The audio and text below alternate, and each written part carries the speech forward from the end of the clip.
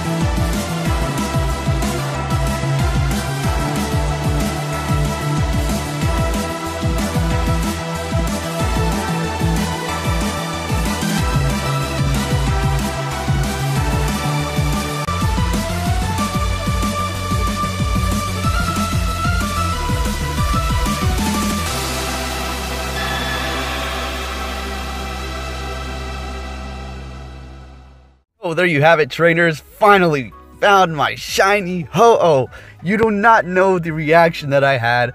Oh my gosh, I was just, I, I was amazed that it was a weather boosted one and i wasn't even trying it wasn't even in my mind to like oh get a shiny i was just thinking oh I'll, maybe i'll catch a good iv weather boosted the shiny thing was just gone i don't you know at this point i did what is like 55 no no no no like 60 raids of Ho-Ohs at this point we'll, we'll go take a look at that in just a second but guys i did it weather boosted shiny it is a 76% it's not great but at the same time, when you compare that to a 100, it's so minuscule. But anyways, um, I'm happy I got mine. Shiny, weather boosted, ho-oh.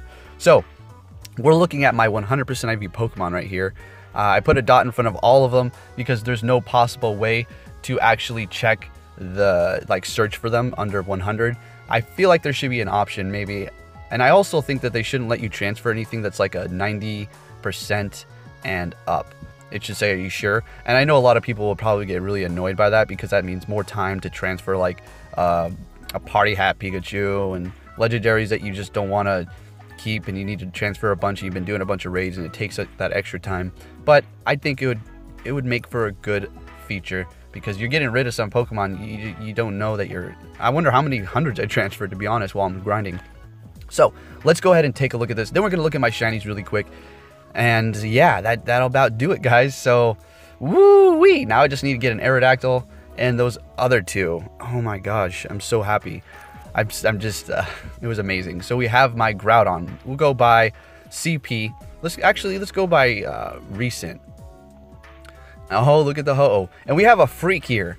A freak, like, uh, experiment or some sort of freak of nature. I, I don't know what, what happened here. So any anybody who knows anything about this game and and 100% IV hatches, right, knows that when you hatch a Feebas at 125 CP, that means 100% uh, IV for that Pokemon, right, for Feebas. But we have a little weird thing here. Of course, I get this weird little problem. So we go and we're going to go appraise, right? Let's take a look. Overall, it's simply amazing. So we're looking at golden here, right? You would assume, oh my gosh, I hatched 100. Yeah, I can't believe I hatched 100 Feebas. 100 Milotic, here I come. Not the case with me. HP. Attack.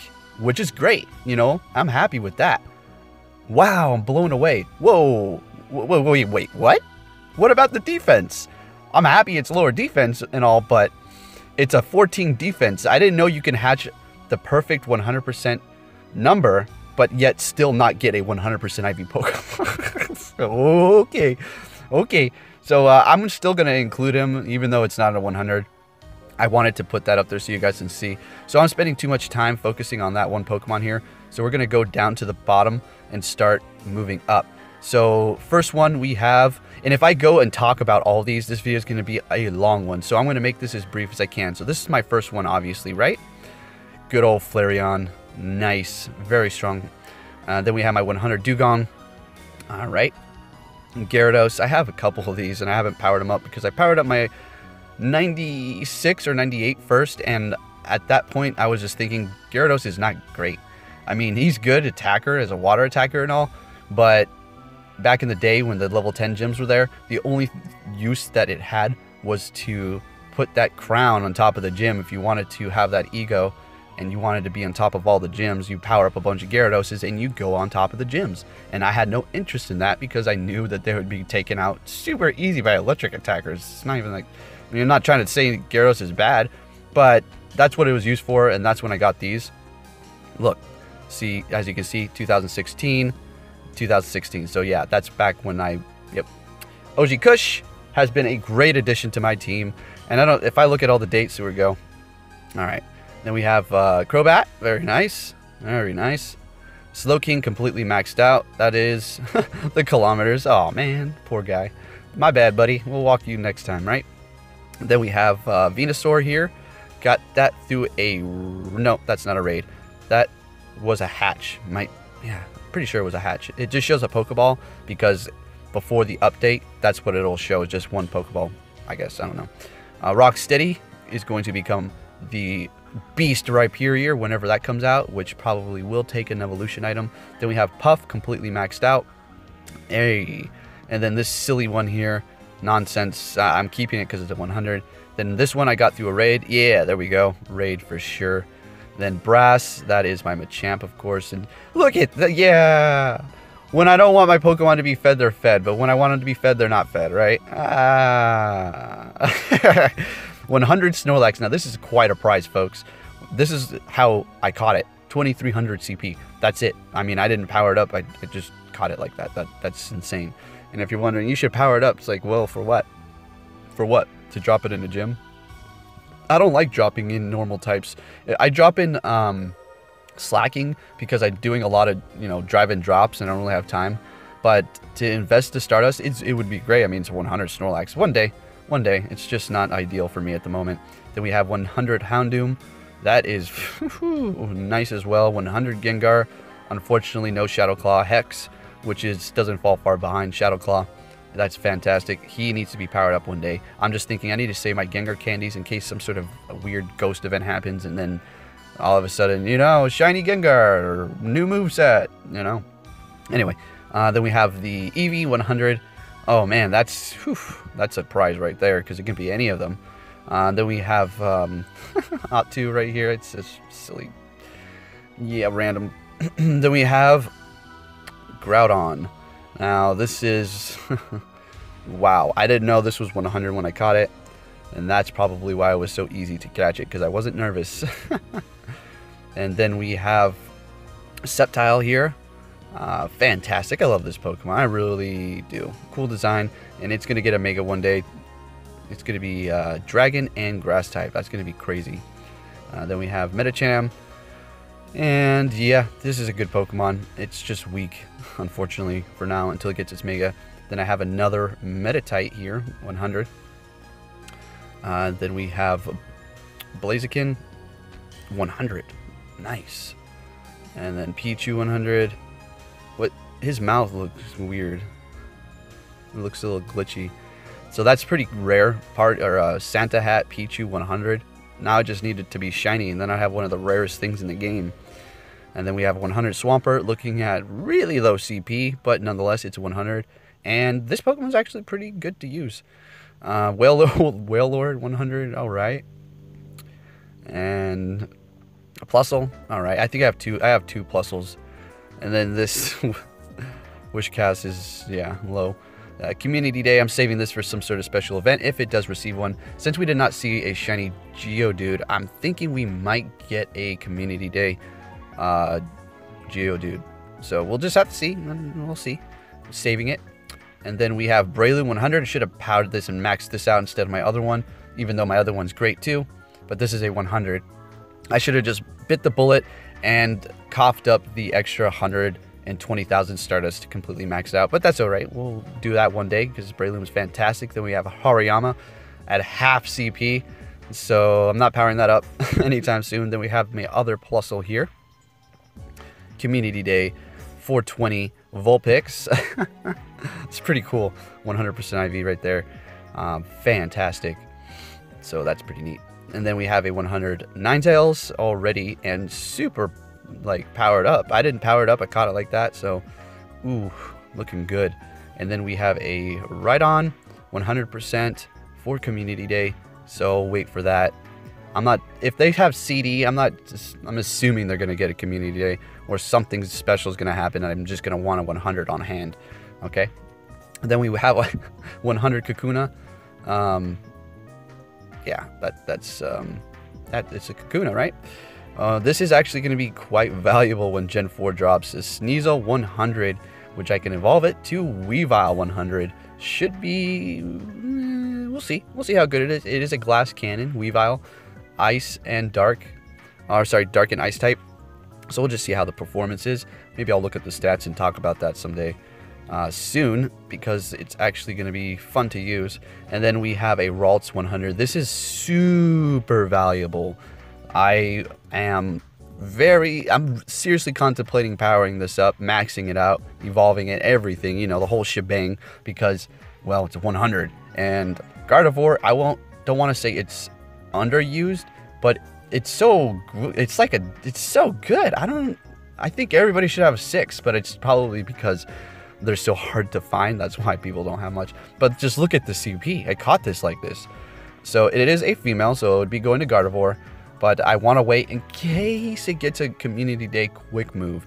So a fairy Community Day quick move. And I think that's what they're waiting for. So this isn't going to get evolved right now. Then we have a Bellsprout 100. That's cool. Uh, another Dragonite 100. Um, and then we're, we're approaching the end here. My Rayquaza 100 and Machop Community Day 100, which I don't know what move it would get that would be even better than Dynamic Punch. Maybe, uh, uh, maybe a Dark type charge move might benefit it. Uh, it wouldn't necessarily make it better than the current Machamp. It would just make it a better counter gym dropping Machamp which would be great because in the main series games, I did run a dark type uh, move on mine just in case somebody pulled out a psychic, and I had Focus Sash. So, if you're not familiar with the main series games, there's an item that you can put on your Pokemon called Focus Sash, where you can you have to have full health now, and if they hit you and to like literally one hit KO you with full health, you'll have one HP left. So if you know and predict that they're going to do some sort of super psychic move flying move, super effective. M more than likely, it's going to be a psychic type, the enemy, all right, your opponent, because you're going to be using that dark type move. So you'll have one health left. You use that dark, it's called payback, and it's going to do double the damage if you go second, which more than likely you will, all right? And so it's going to completely destroy that psychic type. So you flick them away. It's fantastic. And then you have a quick move like Bullet Punch just to get a little bit of extra damage in there before you're uh, knocked out before the next Pokemon comes in. So, a little history on that. then I have a 100 Latias. Oh, sorry, Latios. That's cool. I got that one when I did Five Man in the morning. That was pretty fun. And then this joke. and then finally, my 100 Ho-Oh. Ah. All right, guys. So I'm just going to briefly show you my shinies. We're not going to go through them like that because this video is going to get quite lengthy. So we'll go recent. And there it is in all its glory, guys. A 76% weather boosted shiny Ho-Oh. And if you're like, oh, well, it's only 76. I mean, okay. Ookie dookie. I don't mind. I'll take it any day. Seriously. Um, I'm happy. I wouldn't care if it was the lowest I 10, 10, 10, 10. Or that's an extra 10. You know, three tens all around. I would be happy with that. Weather boosted.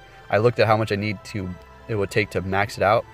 It was like 125,000 stars. I might be wrong, but it, it, was a it was a lot lower than what it usually takes. So if I do power up anything, it's going to definitely be my 100% IV ho. Okay, so let's just go down the line here from most recent to oldest shinies.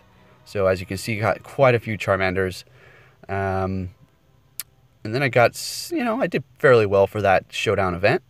And then I caught a Magikarp for that water event. Uh, of course, I didn't find a Wailmer.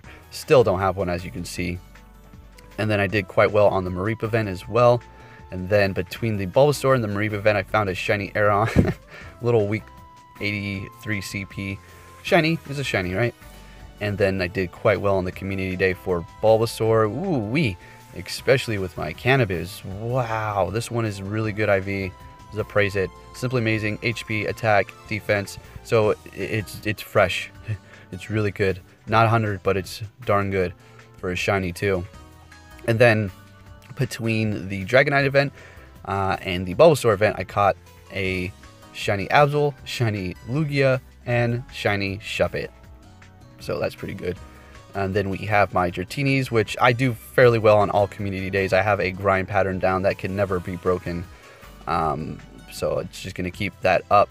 And then for the other events in between all those, as you can see, from the Pikachu event to the Dratini event, I got all those. Got that shiny Aron, involved it to Aggron. I caught it on my fourth shiny, or my fourth Aron encounter. That's when I caught my first. That was crazy.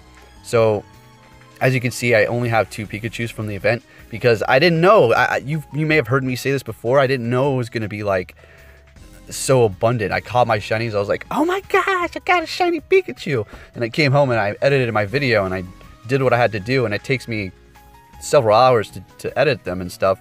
So by the time I was done, well, you know, the event was over, which I knew Um, but now that I figured it out, I was like, oh, okay, well, I'm going to grind the whole time.